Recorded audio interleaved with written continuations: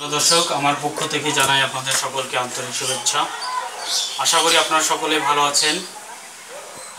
আমি আজকে আপনাদের সাথে আছি, আমি বিকাশ হাসদা অডিটর দুই হাজার আটশো বেচ ইউএও কারণ দিনাজপুর। আজকে আমরা দীর্ঘমেয়াদী ঋণের পর্ব পাঁচে আছি। আজকে আমরা একটি উদাহরণ দেখব সেটা সমাধান দেখব। তাহলে আমরা এর আগে জেনেছি যে দীর্ঘমেয়াদী ঋণ বা অগ্রিম এটা ছয় রকমের আছে, যেটা সুদ সমেত যেটা পরিশোধ করতে হয়, সেটা ছয় রকমের আছে। এক হচ্ছে গৃহ নির্মাণ অগ্রিম, গৃহ মেরামত, মোটর গাড়ি অগ্রিম, মোটর সাইকেল অগ্রিম সাইকেল অগ্রিম এবং কম্পিউটার অগ্রিম। আমরা এর আগেই জেনেছি যে গৃহ নির্মাণ অগ্রিম, সেটা ছত্রিশ মাসের ছত্রিশ মাসের বেতন অথবা সর্বোচ্চ এক লক্ষ বিশ হাজার টাকা পর্যন্ত আমরা নিতে পারি। একশো বিশ কিস্তিতে, সর্বোচ্চ একশো বিশ কিস্তিতে নিতে পারি। আর গৃহ মেরামত অগ্রিম আমরা নিতে পারি। আঠেরো মাসের বেতন সম্মান নিতে পারি অথবা সর্বোচ্চ ষাট হাজার টাকা। এটা হচ্ছে ষাট কিস্তিতে। মোটর গাড়ি হচ্ছে বারো মাসের বেতন অথবা মোটর গাড়ি ষাট হাজার টাকা। সর্বোচ্চ ষাট হাজার টাকা। এটাও ষাট কিস্তিতে। মোটর সাইকেল হচ্ছে সর্বোচ্চ পঁয়ত্রিশ হাজার টাকা। আর এটা কিস্তি হচ্ছে ষাট কিস্তি। সর্বোচ্চ ষাট কিস্তিতে। আর সাইকেল হচ্ছে তিন হাজার টাকা।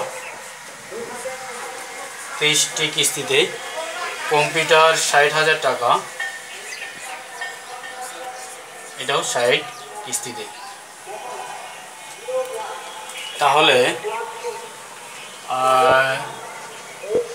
এই সংক্রান্ত বিষয়ে আমি আগে আলোচনা করেছি। আজকে আমরা দীর্ঘমেয়াদী ঋণ সম্পর্কিত একটি উদাহরণ আমরা দেখব। সকল অগ্রিমের সুদ নির্ণয়ের ক্ষেত্রে একই সূত্র।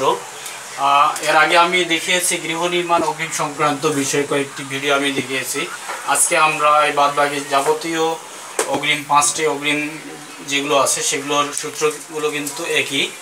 আর সূত্রগুলো ছিল, সুদ নির্ণয়ের সূত্র ছিল N into N plus one divided two into one divided twelve আর ডিভাইডেড একশো। আজকে আমরা একটা অঙ্ক দেখি। সবগুলো অঙ্ক একইভাবে আমরা আজকে দেখি।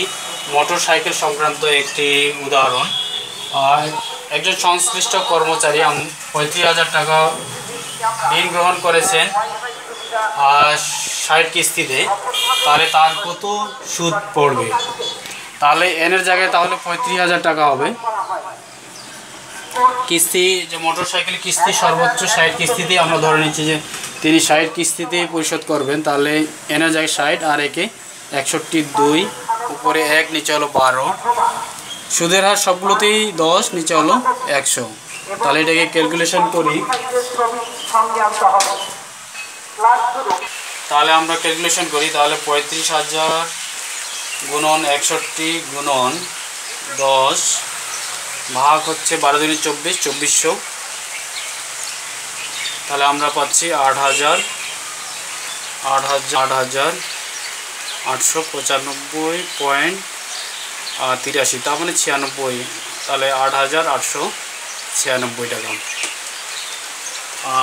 সুদী দর্শক, আপনাদের সকলকে ধন্যবাদ জানাই আমার সাথে থাকার জন্য। এবং আগামী ভিডিও দেখার জন্য আপনাদের আমন্ত্রণ জানাচ্ছি এবং ধন্যবাদ জানাচ্ছি।